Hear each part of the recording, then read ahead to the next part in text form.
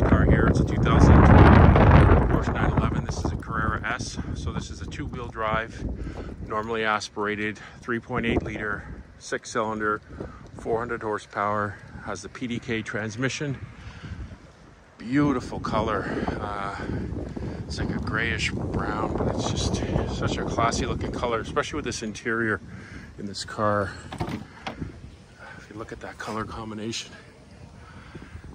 This is a $138,000 build, this car. I've listed the options on the uh, on the advertisement. I've got a copy of the build sheet. So again, this is a Carrera S, so it's not a base model. Really well equipped with the PDK. Sport design steering wheel, Bose sound system, sunroof, special wheels. Just a really, really cool, fast, and classy looking 911 Carrera S. Thanks for checking it out.